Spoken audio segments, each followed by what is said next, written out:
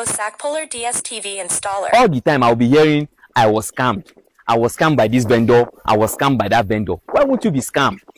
When you see original you will not come. When you see what is right you will not come. When you see somebody that knows the job you will not come. You will be looking for people that will take small money and do the business for you. At the end of the day these people will scam you. When you meet original owners like us shut down.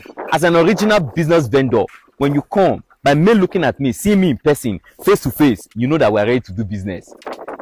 Shut down. All the time i'm always ready for you. Let's do business two four seven. Báwo ni ṣége i know i don't even understand what i just said. But that is how business is done. No language business transaction perfect. That is it. You know i believe am DSTV installer.